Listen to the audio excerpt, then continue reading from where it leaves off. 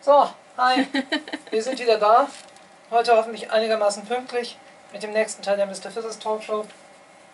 Ähm, der Trojanische Krieg. Immer noch nicht vorbei.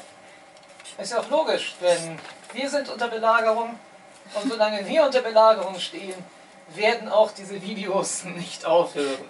Ähm, Die Belagerung von Troja hat zehn Jahre gedauert. ja, aber wir haben ja jetzt schon neuneinhalb davon hinter uns. Das ist ja so, dass sich am Ende irgendwie die, die Ereignisse überschlagen oder die Leute sich auf die Füße treten. Ähm, Der, der Lagerkoller bricht aus. so in der Art. Ja. Wie dem auch sei, sind wir wieder zurück mit dem neuesten Video in unserem HCU, Ja. dem Hellenistic Connected Universe. Und zwar mit dem nunmehr zehnten offiziellen Teil unseres Crossover Boss Battles mit dem heutigen Titel Die Stunde des Patroklos. Das ist aber auch wirklich nur ungefähr eine Stunde, also wir sind in einer Stunde ungefähr fertig. Und in dem Sinne sagen wir jetzt gleich schon mal Adieu, Patroklos, kleiner Groß. Nach der Stunde sehen wir dich wahrscheinlich nicht so viel wieder. So. Nein. Wo waren wir stehen geblieben? Äh, bei einem ziemlich wütenden Zeus, Richtig. der aus tiefem Schlummer erwacht ist, in den Hera ihn geschickt hatte. Das war so. Jetzt muss ich es bloß finden. Da ist Zeus. Der ist noch nicht wütend. Ah, glaube, seine Füße sind abgeschnitten beim aktuellen Bildausschnitt. Seine Füße sind abgeschnitten im Bild. Oh, das ist ein bisschen viel vom Bild weg. Dann werden wir mal kurz das Bild nachjustieren. Oh ja, ich sehe es. Wir justieren das mal kurz nach. Na komm schon. Den oberen Bildrand brauchen wir nun wirklich nicht. So, Ja, jetzt passt es. Danke sehr. So. Ja. Ähm, ja, bei Hera hatte ihm ja durch den Gott des Schlafes in tiefen Schlaf versetzt, um den Griechen und Poseidon ein bisschen unter die Arme zu greifen, weil die ja beim letzten Mal echt böse aufgerieben wurden von den Trojanern. Und naja, wie das halt beim Göttervater so ist, die- dieser Schlaf hat nicht sehr lange gedauert. Er ist aufgewacht, hat ziemlich schnell begriffen, dass ihn seine Frau mal wieder verarscht hat. Das ist nämlich nicht das erste Mal. War ja auch eine lange Ehe. Also sie geht seit, seit Anbeginn der Menschheit. Ja, gut, und sie muss ja wirklich eine Menge Mist von ihm mitmachen. Ja, das auch. Ähm, und der einzige Grund, weshalb Hera an der Stelle nicht von Zeus in irgendeiner Art und Weise bestraft wurde, ist, dass sie immer noch den schönen, glitzernden Liebesgürtel von Aphrodite trägt und Zeus nach wie vor ihr verfallen ist. Ja, Glück gehabt. Das letzte Mal wurde sie äh, äh, an den Armen aufgehängt und an den Füßen hatte sie dann Ambosse, ne? Ja. Und da hing sie dann. SM auf Griechisch. So, gut. Und ähm, sie versucht ihn halt noch zusätzlich zu besänftigen, indem sie ihm sagt, du, ich war das nicht, der Poseidon gesagt hat, er soll jetzt den Griechen helfen.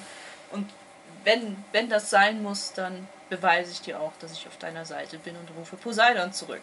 Und Zeus hat sie direkt ja, bei, dieser, bei, diesem Ange bei diesem Angebot, äh, wie sagt man, Beim Wort. beim Wort genommen. Danke.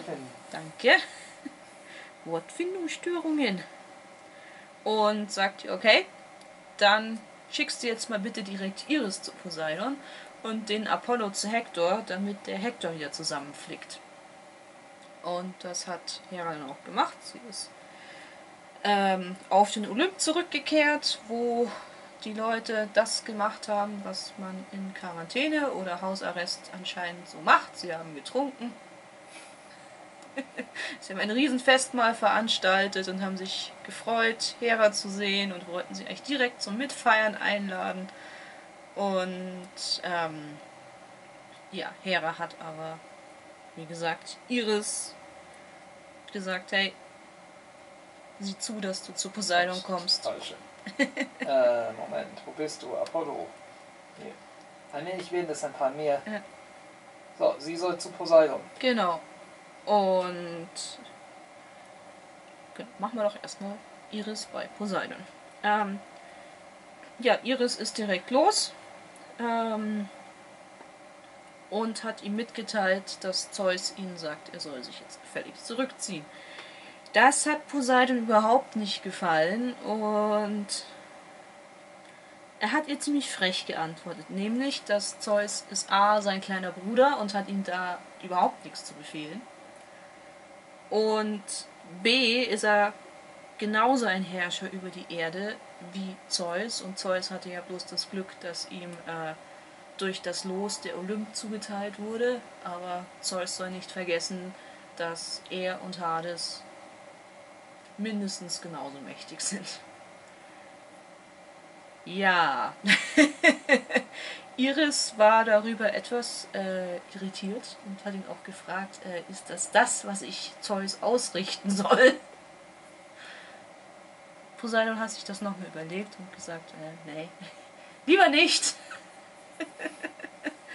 ähm, okay, ich gehe, aber du kannst ihm ausrichten, dass ähm, Zeus es nicht übertreiben sollte, weil wenn er die Griechen jetzt tatsächlich verlieren lässt und Troja nicht untergeht, wie es ursprünglich beschlossen wurde von den Göttern, dann verscherzt er, sie, verscherzt er sich halt mit allen Göttern auf griechischer Seite und äh, das gibt dann Krieg auf dem Olymp. Also Ja. es ist eine etwas verhohlenere Drohung. Ja, bei der man sich auch direkt rausreden kann auf die letzten Endes mächtigsten aller Göttinnen überhaupt, nämlich die Schicksalsgöttinnen, weil Ja. gegen die können auch die Götter nichts machen. Ja. Aber ja, Poseidon war nicht so begeistert, dass sein kleiner Bruder ihn wieder in den Hausarrest schickt. Jo. Er hat sich dann auch ziemlich schnell getrollt, ist direkt im Meer abgetaucht und verschwunden. Und das haben die Griechen auch gemerkt, weil es ging dann wieder weniger gut auf ihrer Seite weiter. Hm.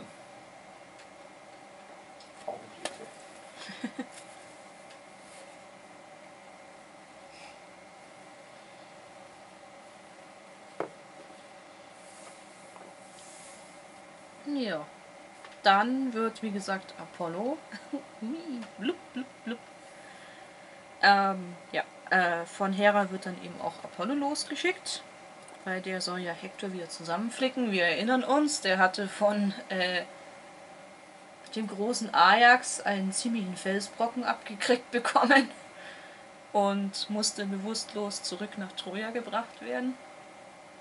Und ähm, dort findet ihn Apollo dann auch und Hector ist erstaunlicherweise schon wieder ziemlich fit. Also er kann schon wieder alleine stehen, er, er sieht wieder klar, er kriegt Luft, er spuckt kein Blut mehr.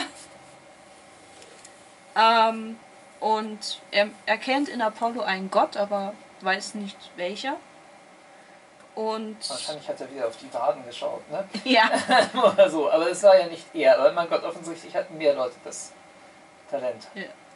äh, ich meine, er stammt aus einer Familie, wo es Seher gab. Ja, stimmt. Ähm, und weil er eben nicht weiß, welcher Gott hier zu ihm spricht, fragte ihn, ob er jetzt gerade gekommen ist, um ihn in die Unterwelt zu bringen, also ob er jetzt heute noch sterben wird. Mhm. Und Apollo erstmal so, nee, nee, keine Sorge, heute nicht. Äh, an der Stelle hätte man aufhorchen sollen. Ähm, und er erklärt ihm halt, dass er von Zeus geschickt wurde, um ihn zu beschützen. Und er zückt ein goldenes Schwert, mit dem er äh, für Hektor kämpfen wird und die Griechen vertreiben soll. Hektor ist daraufhin nochmal ein Stückchen fitter, weil er springt dann sofort auf seinen Streitwagen und zieht wieder in die Schlacht. Zum großen Entsetzen der Griechen, die ja eigentlich alle mitgekriegt haben, dass äh, Hektor vor wenigen Augenblicken noch unter einem Fels begraben war Klar. und bewusstlos abtransportiert werden musste. Mein Gott, hat man so einen Kiesel auf die Birne gekriegt, ne? Und das, das goldene Schwert ist nicht das einzige, was Apollo hat, sondern er hat dann anscheinend auch noch ähm, seiner Schwester Artemis ihren Schild geklaut, weil es wird ja auch beschrieben, dass er das Aegis, so, ne? Aegis, Aegis, es ist lang, ne? Aegis. Äh, das Aegis-Schild trägt und das ist das Schild ähm, mit dem Medusenhaupt, das ja eigentlich Athene gehört. Aber naja, wenn Papa Zeus sagt, Apollo darf, dann was will man machen, ne? Ja, wie gesagt, die Griechen sind erstmal ziemlich entsetzt und informieren schnellstmöglich ihre Fürsten, von denen ja die Hälfte äh, ärztlich erstmal versorgt werden muss. Und es wird beschlossen, dass das einfache Fußvolk sich jetzt zu den Schiffen zurückziehen soll und dass die letzten verbliebenen noch kampfestüchtigen Helden und Fürsten einen Verteidigungswall gegen Hektor bilden, weil, hey, kommt schon, er kann uns nicht alle umbringen. Tja, ich Und- denke, das sieht Hector anders. ja, und, und vielleicht hat er ja Angst vor uns, war so die Aussage. Vielleicht ist er nicht mutig genug, um es mit uns allen aufnehmen zu können. Jo, Ja, wie sieht das jetzt aus? Hector sitzt auf. Äh, steht. Sitzen ging ja auf den Streitwegen nicht. Ähm, Hector steht da auf seinen Streitwagen, Apollo neben ihn, allerdings in dunkle Wolken gehüllt oder in dunkle Nebel. Da wechselt sich das manchmal ab. Wie gesagt, er hat den Schild von Athene in der Hand mit dem Medusenhaupt und er muss diesen Schild bloß den Griechen vorhalten und sofort suchen die ihr Heil in der Flucht. das ist besser so. Weil, wenn man auch nur das Bild in diesem Fall vom Kopf der Medusa sieht, würde man sonst zu Stein erstarren. Und ähm, wir erinnern uns, Apollo war ja auch der Gott, also ja, der Gott von Pfeil und Bogen kann man jetzt nicht sagen, weil Artemis ist ja auch jagend Ja, aber unterwegs, einer. aber er war ein Gott, der sich ziemlich gut aufs Bogenschießen verstanden hat. Ja. Und das hat zur Folge, dass alle Geschosse, ob jetzt Pfeil und Bogen oder äh, Wurfspeere auf Seiten der Trojaner, zielsicher äh, die Griechen treffen. Jedes Geschoss von trojanischer Seite aus hat getroffen.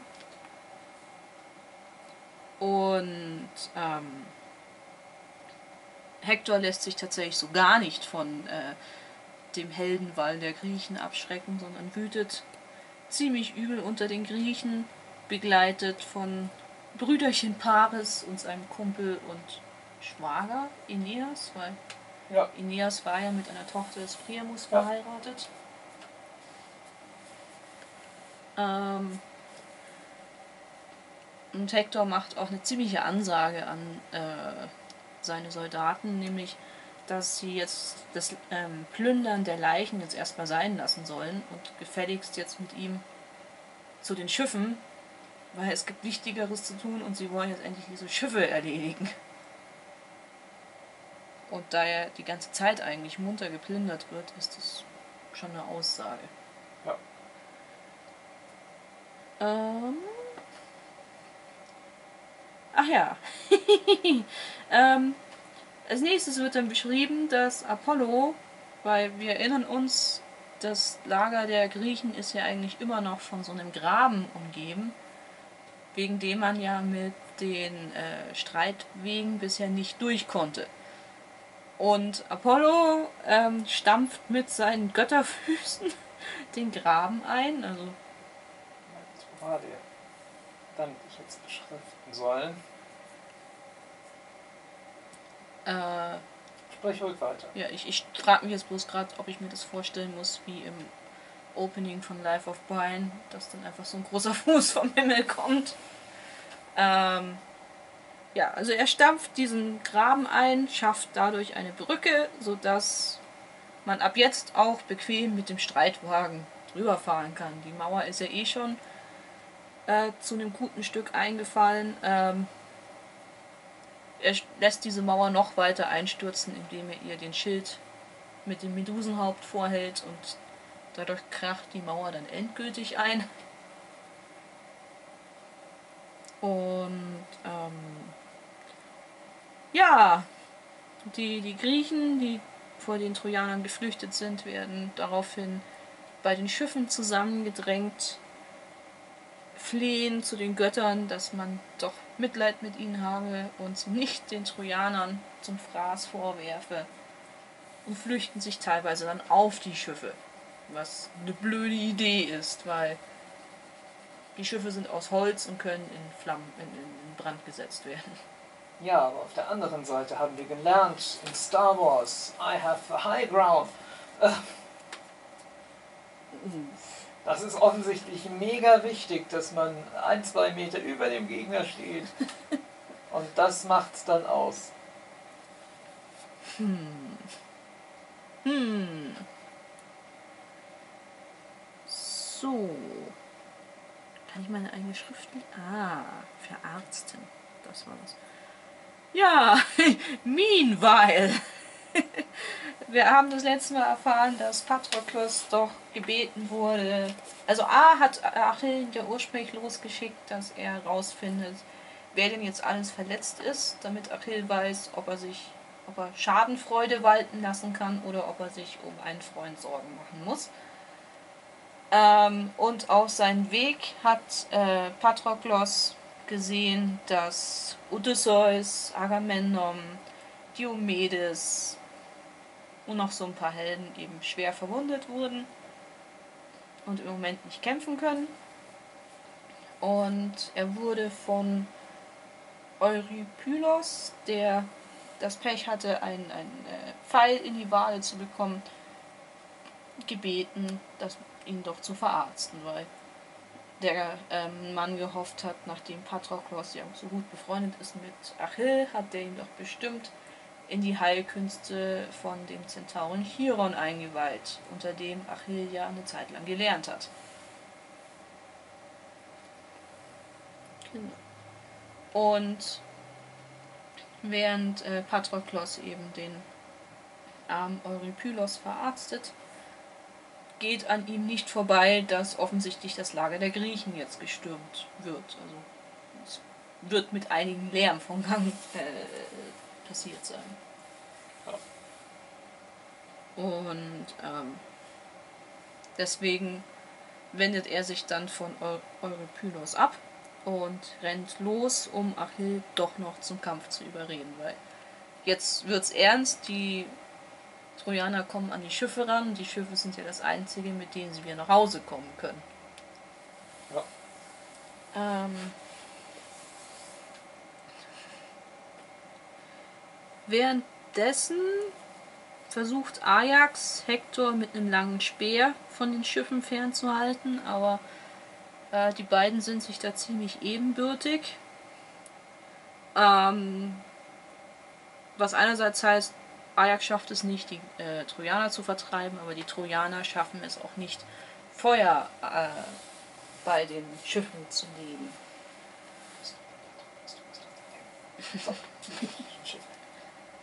Und ähm, sein Ajax hat einen Bruder, oder Halbbruder, den Teuzer, war das sein Ja, Halb genau, das ist ein Halbbruder. Halbbruder? Ähm, der war ziemlich gut mit Pfeil und Bogen und versucht, so gut er kann, zu helfen. Äh, was Zeus nicht so gefällt, äh, als Teuzer auf Hektor anlegt, lässt er seine Bogensehne reißen, woraufhin Ajax ihm sagt, schnapp dir bitte äh, Schwert, Speer und Schild, weil mit Pfeil und Bogen wird das hier offensichtlich nichts. Ähm, Hektor ist nach dem Erlebnis hochmotiviert, weil Zeus offensichtlich immer noch auf ihrer Seite steht, verkündet es auch lautstark. Und ähm, muss mal kurz schauen, habe ich hier was vergessen? Ah ja, das kommt dann erst später.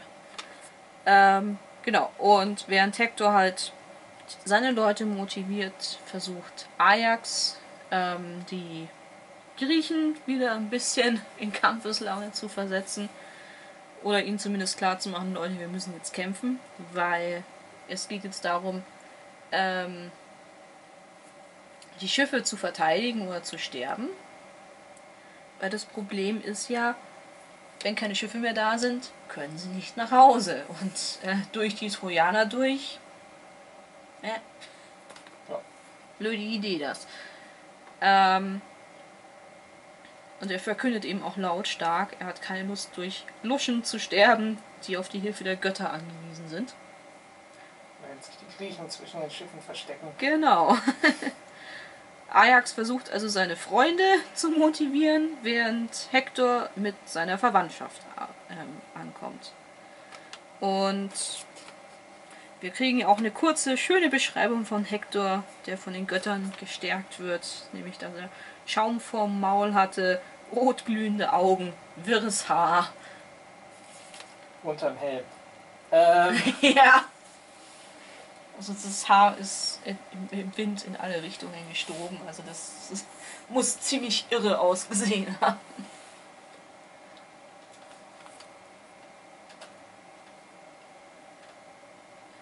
Und das Ganze spielt sich noch vor den Schiffen ab. Zumindest im Moment noch, weil ähm, irgendwann äh, wird es den verteidigenden Griechen zu viel. Die sind völlig geschockt von, was, von dem, was sie da auf sich zukommen sehen, nämlich eben, eben jeden Hektor. Und äh, ja, die, die fliehen dann weiter zwischen die Schiffe zurück. Ähm, ein Grieche schafft es noch, Hektor eine Lanze in die Brust zu bohren. Das interessiert Hektor aber überhaupt nicht. Und auf Seiten der Griechen versucht Nestor dann die Truppen weiter zu ermutigen. Wir erinnern uns Nestor, der alte Haudegen, der immer wieder ankam mit, ach, wenn ich noch so jung wäre wie ihr, dann würde das hier ganz anders aussehen.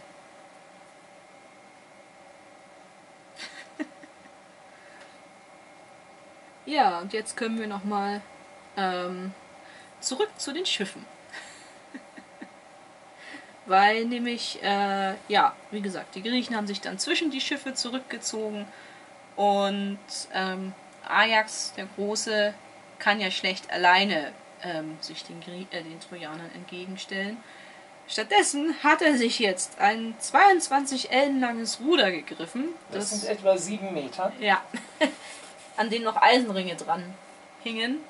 Ähm, und das hat er in der, in der rechten Hand getragen und ist damit dann von Schiff zu Schiff gesprungen, um die Griechen äh, ja deutlich daran zu, also zu, zu ermutigen, indem er ihnen klargemacht hat, Leute, wenn die Schiffe brennen, gibt es für uns keine Rettung mehr. Wir können nicht zu Fuß über das, über das Meer zurück nach Griechenland und Hektor wird uns bestimmt auch nicht irgendwie äh, fröhlich bei sich empfangen. Und da ist er dann wie, wie so ein, also es wird äh, beschrieben, dass er wie ein ähm, Reitartist, der von Pferd zu Pferd springt, da von Schiff zu Schiff springt. Was echt heftig ausgesehen haben muss. Ich meine, ihr habt da einen Riesenkerl mit einem, mit einem riesen äh, in der Hand, der euch anbrüllt. ja, ähm, Und nur zur Erinnerung, das ist der Kerl. der wie so ein, äh, der durch die Trojaner durchgepflügt ist, wie durch Strichmännchen. Oh. ähm, ja, Hektor wird noch weiter von Zeus gestärkt und ähm, schwingt sich dann tatsächlich auf eines der Schiffe und die Trojaner eilen ihm hinterher, weshalb es dann zu, eine, zu einer ziemlich heftigen Nahkampfsituation kommt, weil die, da sind ja die Leute auf engstem Raum. Man kann nicht mehr mit dem Speer kämpfen. Es bleiben einen wirklich nur noch Schild und Schwert. Es wird dann auch beschrieben, dass der Boden ziemlich rutschig war von dem ganzen Blut.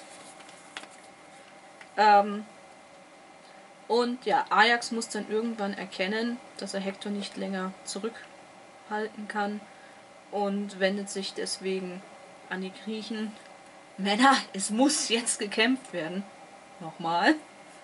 Weil äh, weiter können uns die Trojaner nicht zurückdrängen. Hinter den Schiffen haben wir keinen Schutz. Wir haben keine Stadt, in die wir uns flüchten können, im Gegensatz zu ihnen. Äh, unsere einzige Chance ist, die Trojaner mit dem Feuer abzuwehren. Anscheinend haben sie ihn beim ersten Mal nicht verstanden gehabt.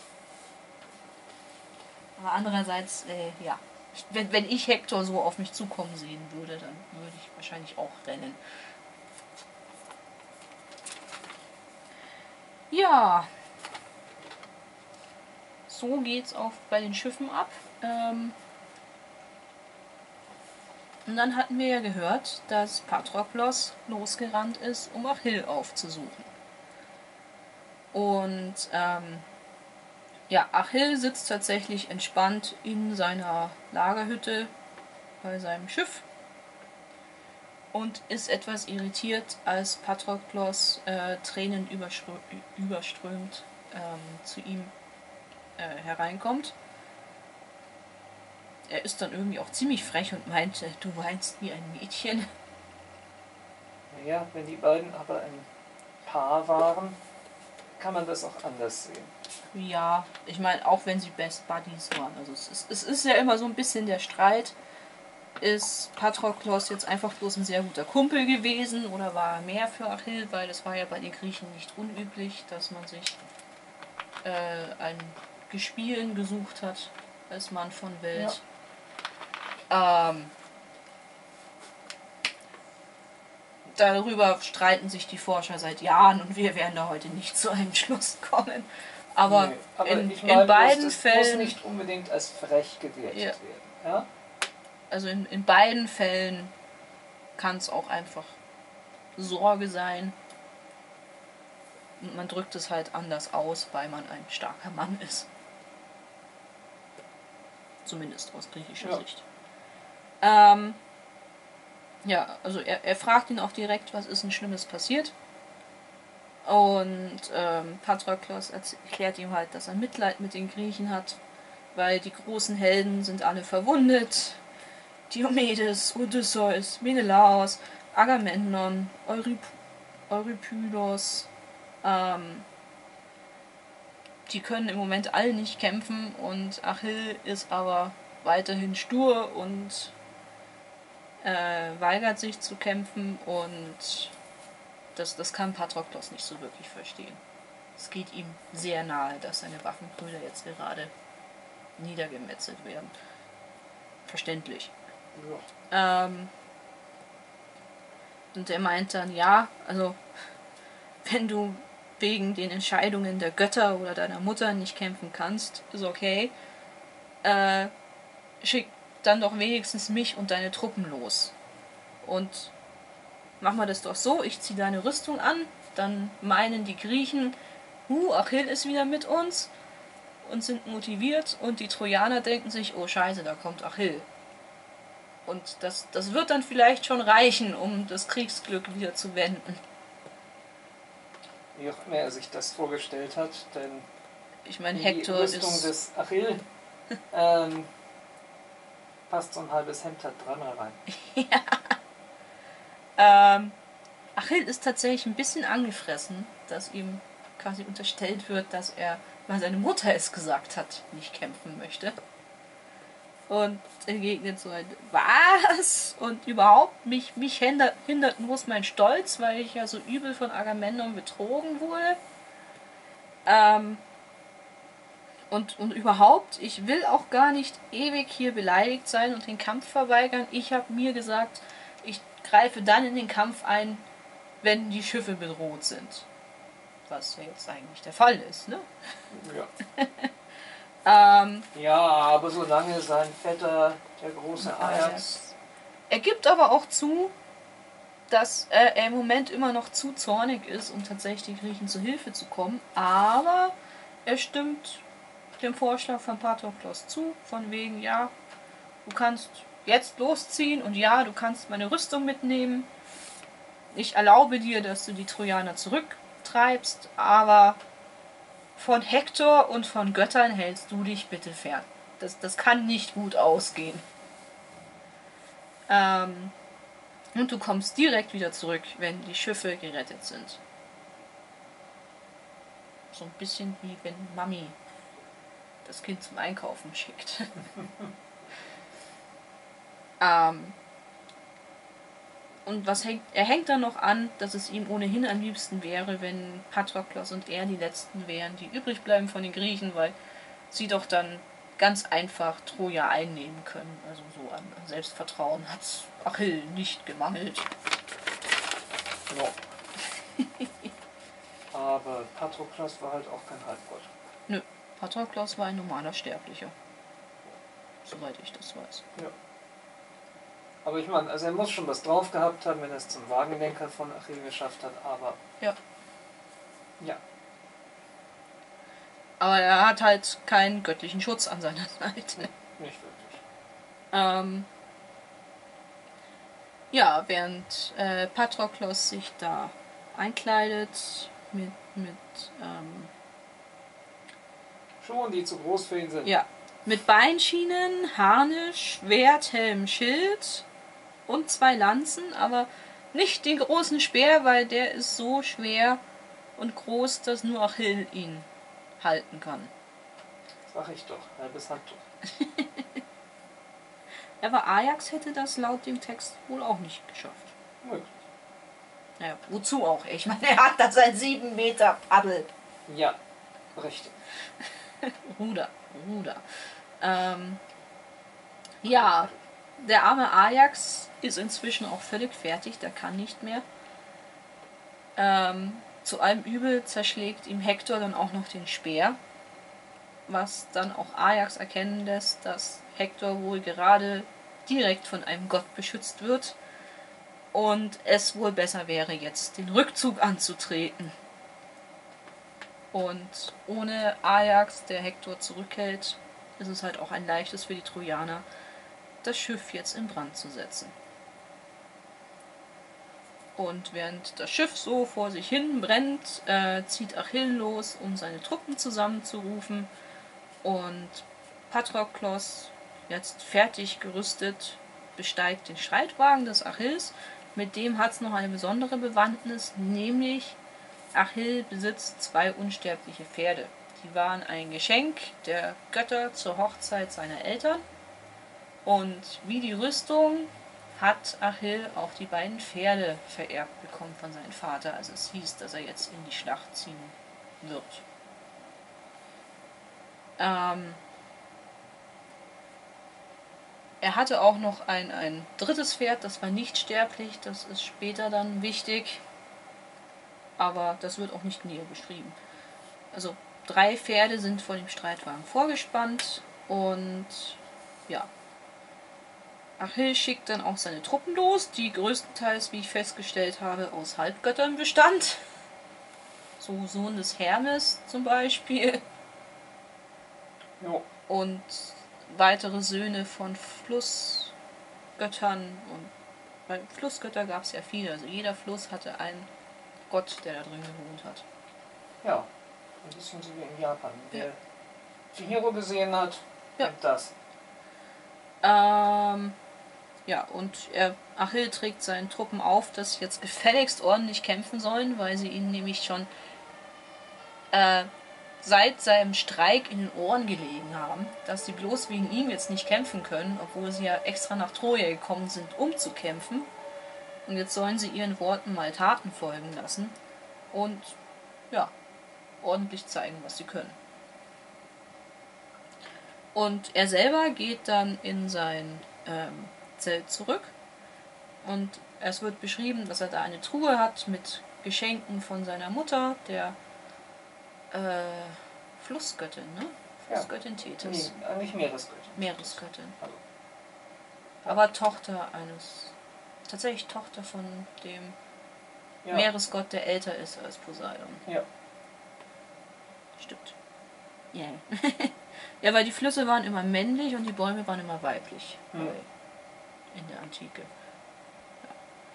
Ja. Ähm, genau, also er hat da ein, ein, eine Truhe mit lauter Geschenken von seiner Mutter und da holt er einen wertvollen Becher raus, aus dem bisher nur er und gewissermaßen Zeus getrunken haben. Wieso Zeus? Naja, es wurden ja früher viele Trankopfer dargebracht. Die Griechen haben ja eigentlich für alles erstmal ein Opfer dargebracht. Und das einfachste war eben das Trankopfer. Man hat ein bisschen Wein in einen Becher gefüllt und hat den dann auf den Boden geschüttet. So wie ich das verstehe. Ja. Und mit diesem Becher bringt er Zeus dann eben wieder ein Trankopfer dar und bittet darum, dass A, die Griechen siegen sollen und ähm, B, dass Patroklos unverletzt wieder zu ihm zurückkommen soll. Ja, Zeus hat da ein bisschen andere Pläne, also er akzeptiert, okay, die Griechen dürfen gewinnen, wenn, wenn Achill jetzt nicht mehr sauer ist. Äh, das mit Patroklos, äh, nein. Ähm, ja, und danach setzt Achill sich wieder hin und sieht einfach bloß zu. Bin auch nicht so ganz sicher, ob tatsächlich so ein äh, so ein Becher gemeint ist oder so eine Trinkschale, wie die Griechen früher hatten. Das ist ja auch wie die drin geblieben ist in der Truhe. Ja.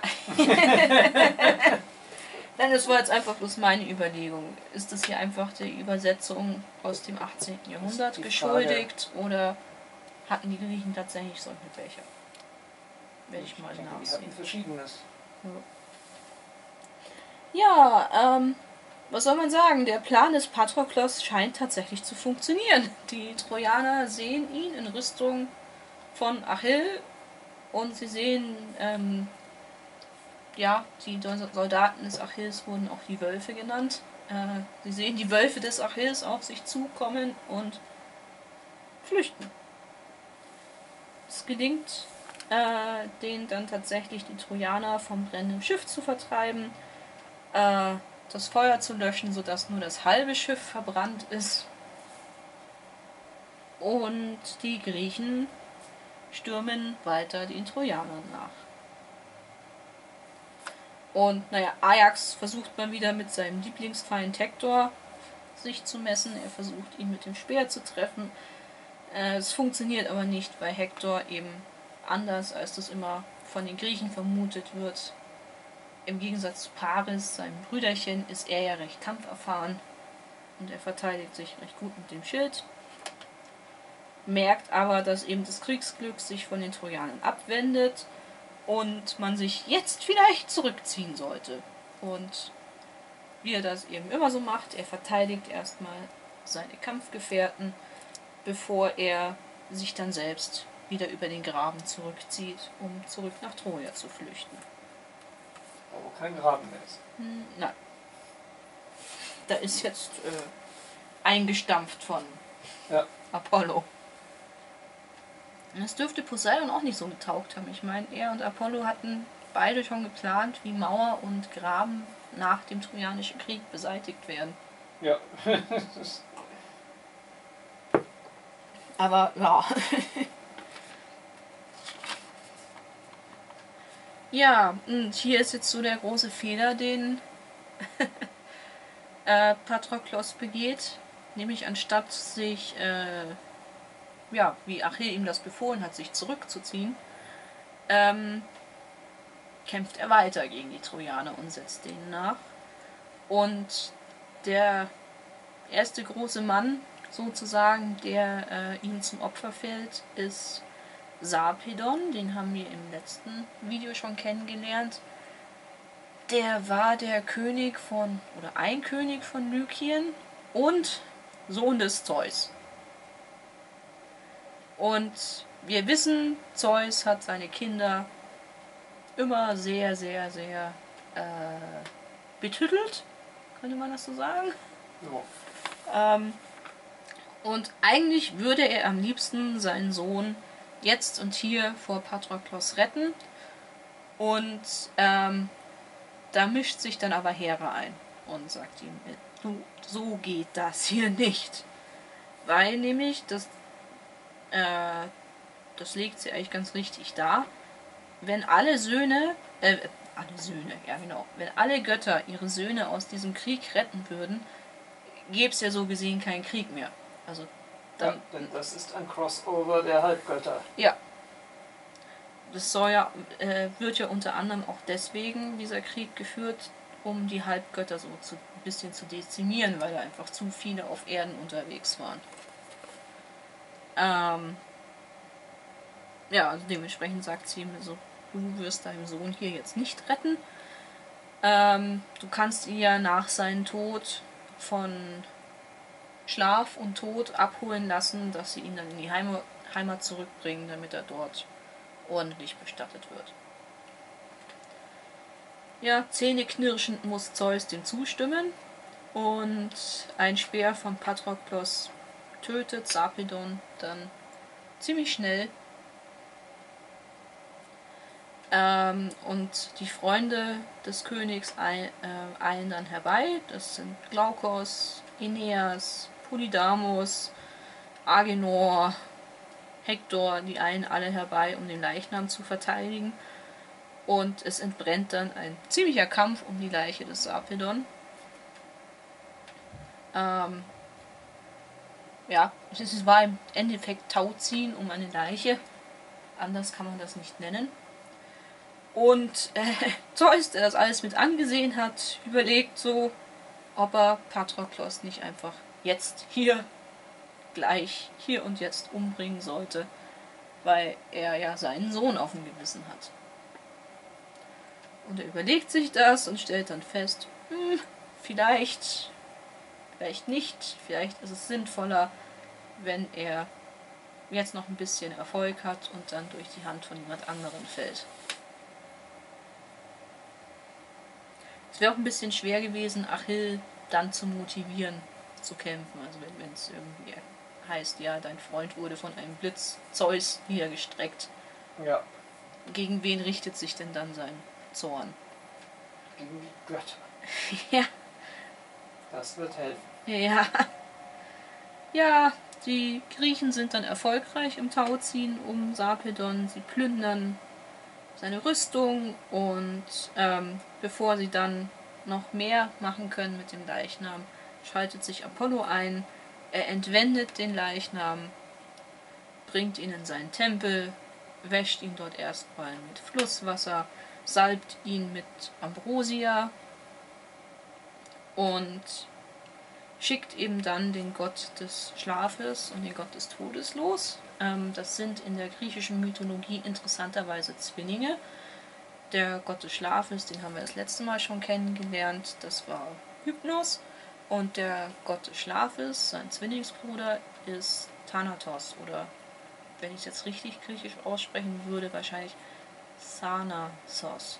Nein, Thanatos, weil da ist kein TH. Ah, Thanatos. Das, genau. was die meisten Leute nicht wissen, ja, ähm, TH ist auch im Griechischen ein TH. Mhm. Und im Griechischen ist das eine Null mit einem Punkt. Habe ich mal gelernt. Je nachdem, ob groß oder klein ja. Und die beiden äh, schnappen sich dann den Leichnam und fliegen ihn zurück in seine Heimat Lykien, wo er eben dann auch in allen Ehren bestattet wurde. Und gerade auf Vasenbildern treten die beiden recht häufig auf, um gefallene Helden dorthin zu bringen, wo sie hingehören. Das nur so am Rande. die Öhrchen.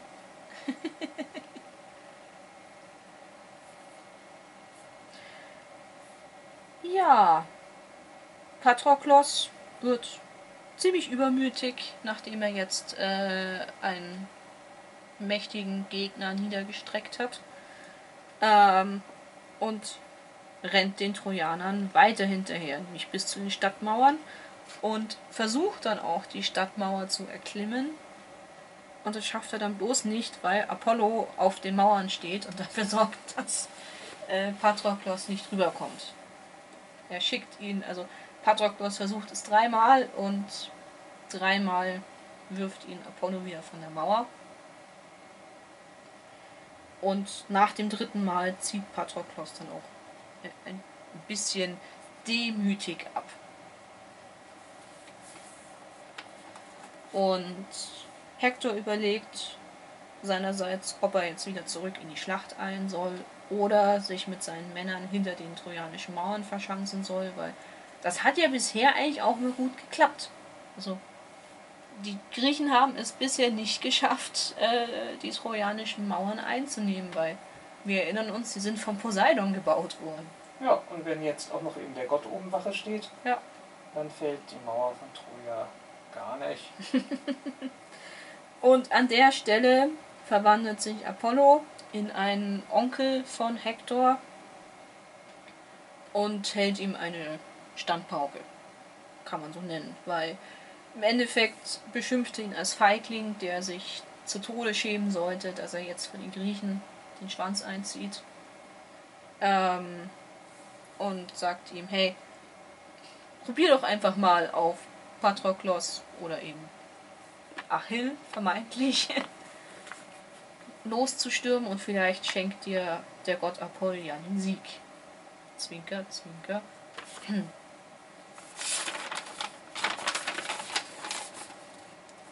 Ja, äh, Hektor lässt sich davon tatsächlich bequatschen und kehrt in die Schlacht zurück und stürmt direkt auf Patroklos zu.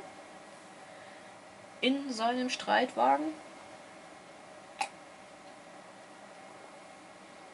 Und ähm, ja, jetzt geht das Steinewerfen wieder los.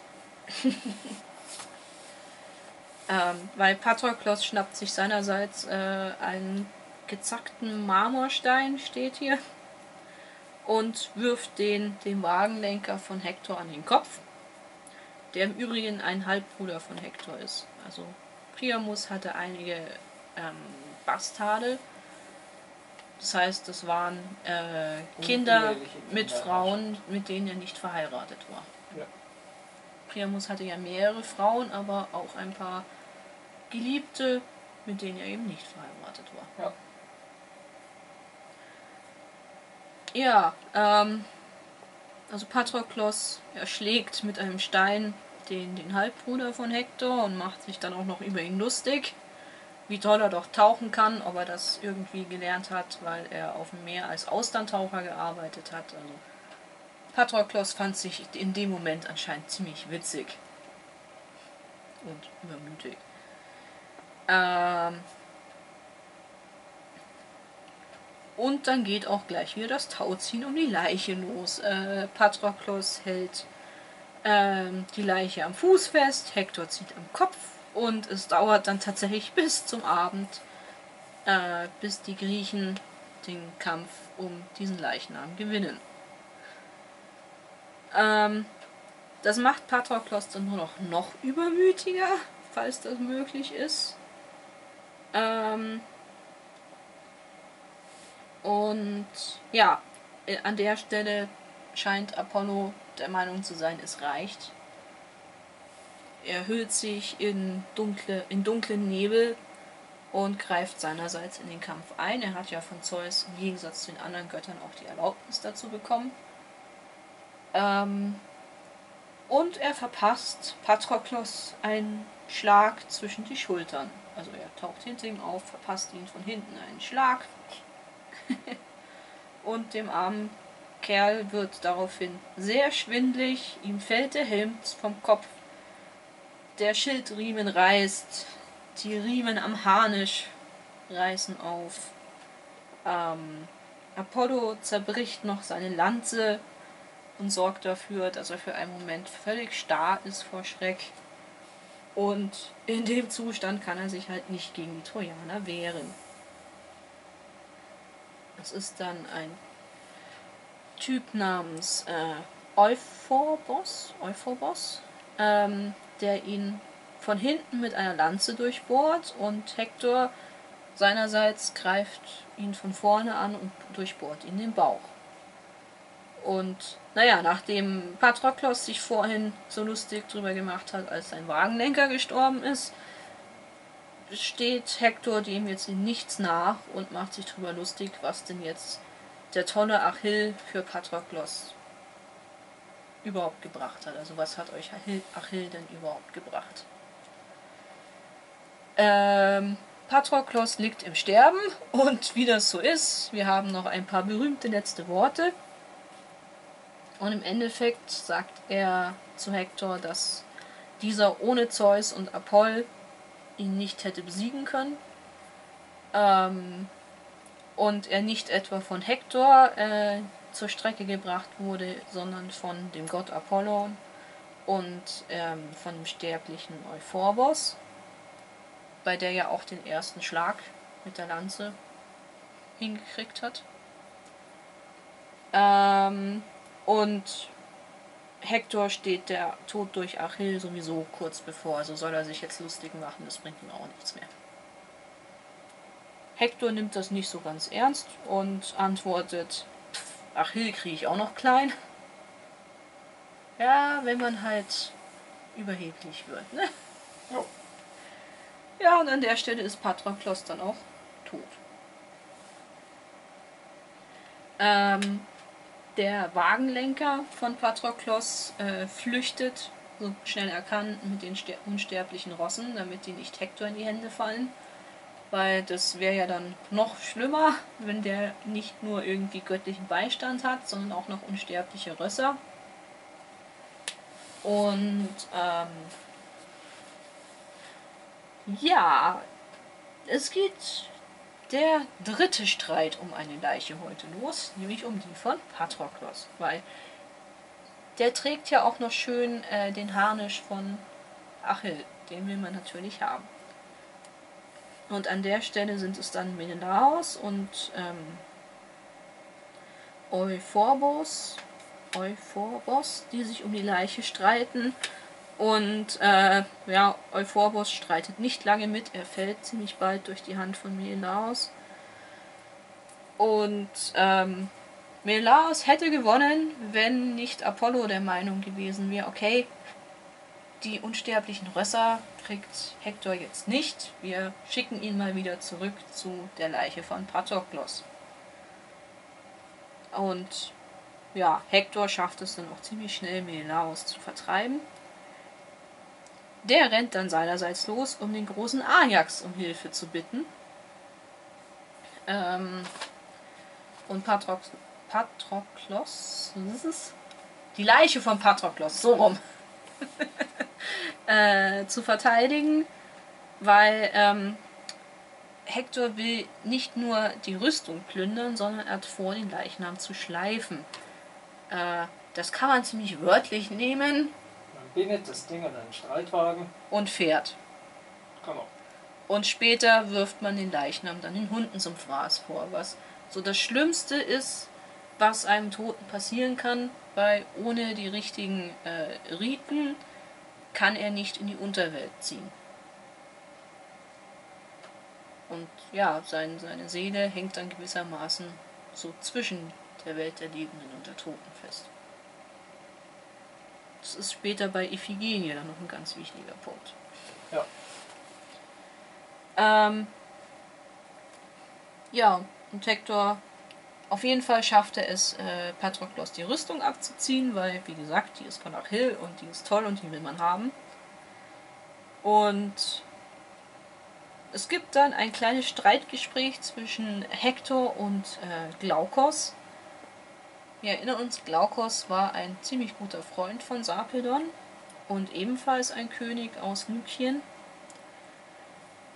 und ist so gar nicht begeistert, ähm, dass Hektor sich, nachdem er jetzt die Rüstung erobert hat, äh, zurückzieht, weil eben jetzt der große Ajax mit Gefolge ankommt. Und sagt ihm im Endeffekt, Hektor, du bist ziemlich feige.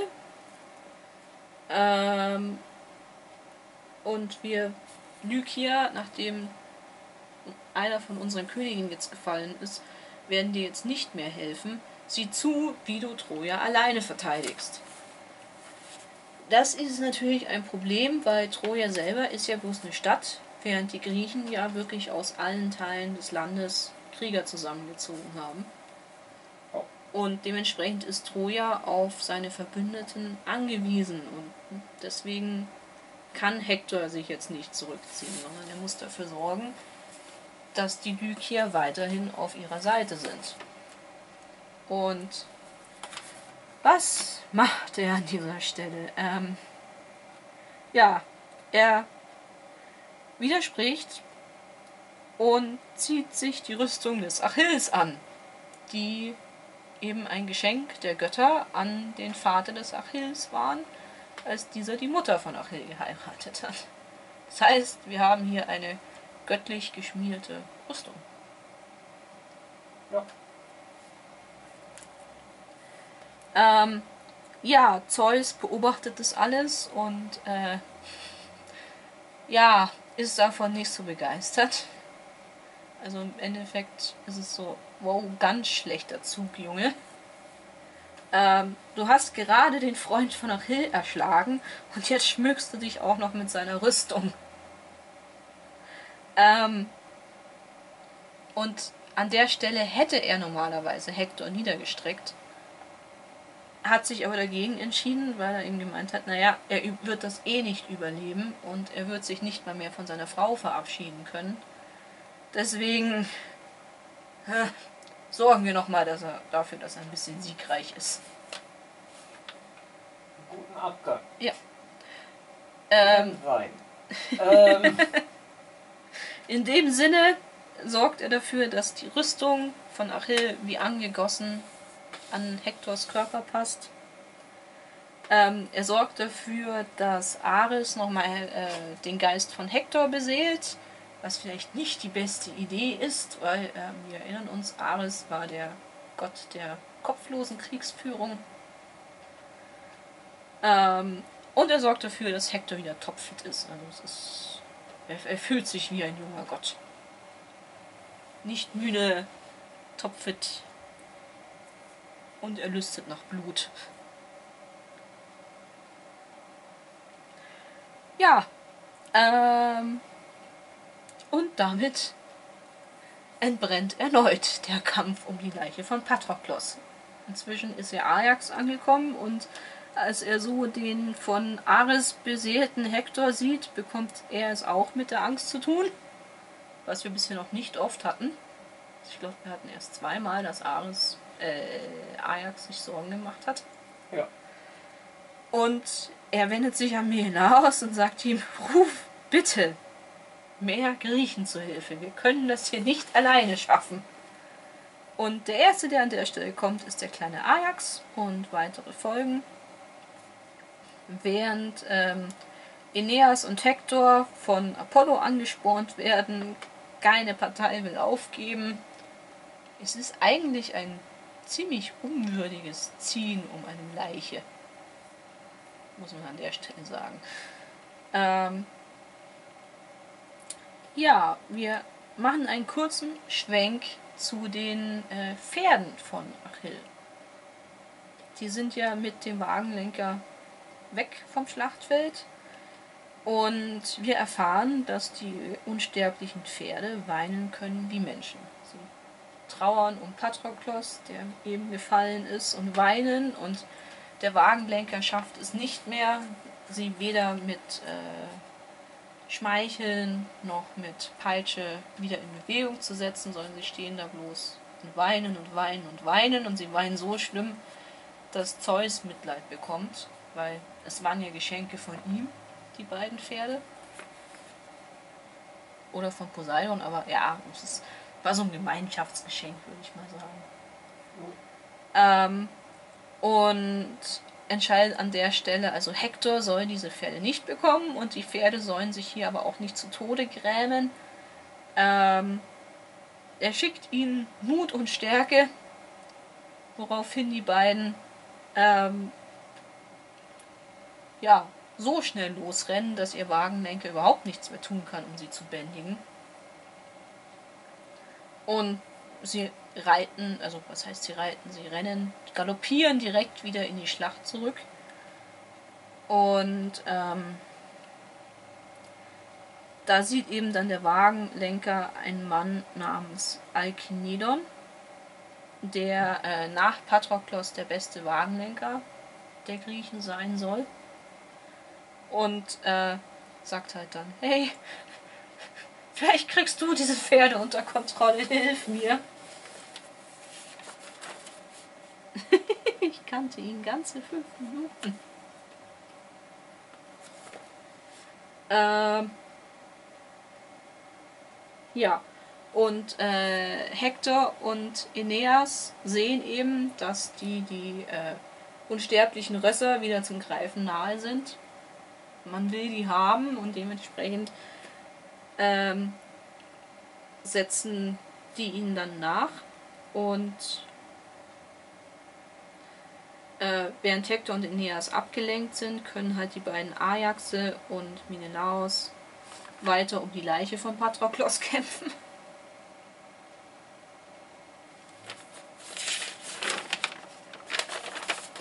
Ach ja, äh, das hatte ich nicht erwähnt, aber das unsterbliche, äh, das, das sterbliche Pferd von den dreien ist äh, gestorben. Das hat Hector ähm, an einer Stelle mit einem Wurfspeer abgeworfen und das hat dann für Patroklos ziemliche Probleme gemacht, weil die anderen Pferde dann sehr, sehr scheu geworden sind und man ähm, den, den Streitwagen dann erstmal nicht weiter nutzen konnte. Für Charlie? Das dritte Pferd hieß Charlie? Wahrscheinlich. Candy Mountain, Charlie. Oh. Muss kurz schauen, wo ich bin. Ah ja, wir kämpfen wieder um die Leiche. Ähm, ja. Jetzt wird von wird Athene von Zeus aufs Schlachtfeld geschickt. Und sie verkleidet sich als der alte Griechenfürst Phönix den hatten wir bloß mal ganz kurz erwähnt. Der ist fast so alt wie Nestor. Ähm, und in Gestalt von diesem alten Fürst geht sie eben auf Menelaos zu. Menelaos sieht ihn schon von Weitem und schämt sich, weil ähm, er ziemlich vorwurfsvoll angesehen wird und ruft ihm dann zu, ähm, ich, ich würde Athene, also nur um dich glücklich zu machen, werde ich Athene jetzt um mehr Kraft bitten, damit ich den Leichnam unseres toten Freundes hier verteidigen kann. Das freut Athene natürlich sehr, dass sie ihn gar nicht erst dazu auffordern musste, doch zu Athene zu beten, sondern dass Menelaos von selbst auf die Idee gekommen ist. Und dementsprechend gewährt sie ihm diese Bitte, ihn stärker zu machen. Ja, Apollo lässt sich von seiner Halbschwester aber auch nicht übertrumpfen und wendet sich in Menschengestalt abermals an Hektor und sagt ihm recht unverfroren, hey, hör mal, wer wird dich denn in Zukunft noch ernst nehmen, wenn du jetzt vor Menelaos flüchtest, vor diesem Weichling, von, vor diesem Typen, dem die Frau von deinem kleinen Bruder geklaut wurde. Und ja, das reicht tatsächlich aus, um Hector nochmal so einen Boost zu geben.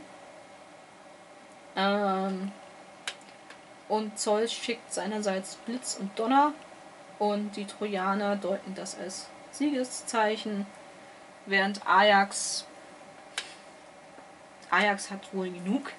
Für, für den war der Tag heute schon lang genug. Er hat viele Freunde fallen sehen und hat sich oft zurückziehen müssen, weil er verfällt dann nämlich in Klagen. Also er jammert im Endeffekt.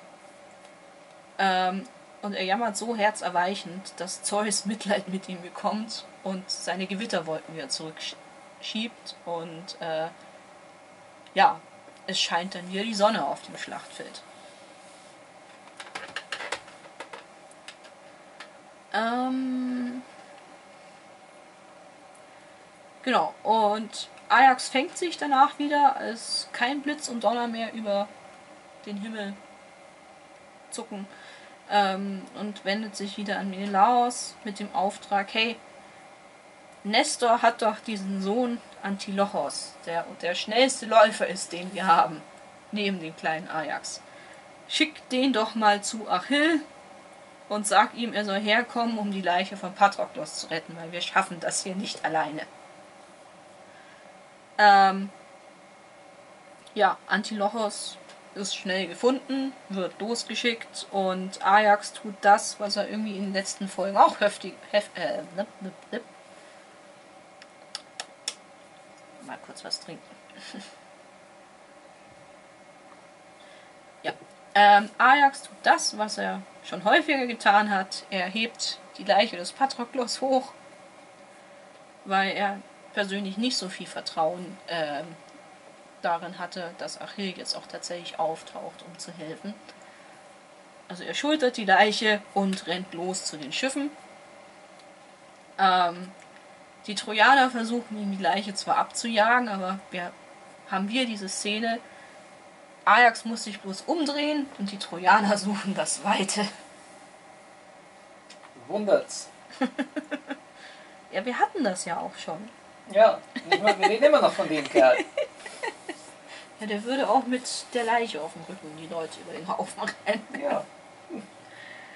Ähm, ja, die anderen Griechen sehen, dass Ajax davon rennt und rennen hinterher und werden ihrerseits dann von Hektor und Aeneas verfolgt. Ja, dann kommen wir wieder zurück zu Achill. Der sitzt nämlich wieder bei den Schiffen, sieht zu und ist relativ unzufrieden, dass die Griechen sich schon wieder zu den Schiffen haben zurückdrängen lassen, weil das heißt, er muss schon wieder eingreifen mit seinen Leuten. Ähm, und während er da so sitzt und sich ärgert, taucht Antilochos auf, kommt weinend auf ihn zugerannt und ruft ihn schon vom Weiten zu. Ähm, Patroklos ist tot. Äh, Griechen und Trojaner kämpfen um seine Leiche und die Waffen von ihm hat sich schon Hektor geschnappt. Ja, und das ist so das Letzte, was Achill in dem Moment hört, weil dann wird ihm schwarz vor Augen und er fällt zu Boden.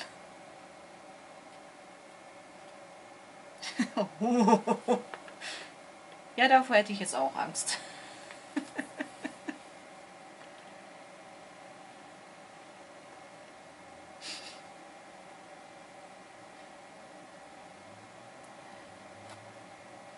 Und ja, wenn sich jetzt einer wundert, dass da irgendwie ziemlich viel in einem Tag passiert, ja, ähm, das liegt daran, dass wir ja viele Sachen haben, die zeitgleich passiert sind. Und ähm, ich habe gesehen, dass tatsächlich äh, Hera später dem Sonnengott sagen muss, jetzt sorgt mal dafür, dass es Nacht wird. Das ist für heute genug passiert. Also haben anscheinend die Götter nicht nur ihre Finger im Kampf im Spiel, sondern auch dabei, wie lang so ein Kampf dauert. Und am Tag. Ja gut, also wie gesagt, nachts hat sich nicht so gut kämpfen lassen, weil im Gegensatz zu heute Ja, ja. war es nachts wirklich dunkel.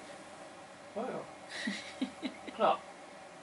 Also ich musste mal äh, während einem Stromausfall durch Bruck laufen und habe echt Sorgen gehabt, dass ich irgendwie in die Amper stolper, weil es war so stockdunkel.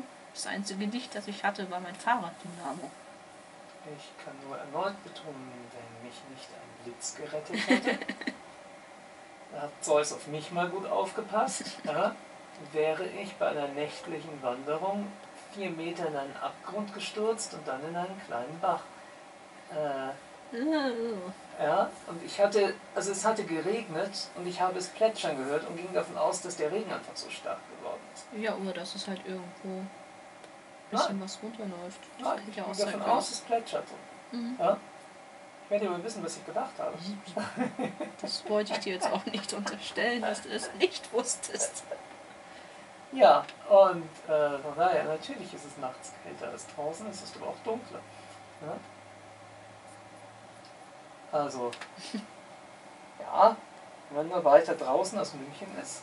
Ja, und das letzte Mal, als ich nachgeschaut habe, war Troja weit außerhalb Münchens. Ja, ist dunkel.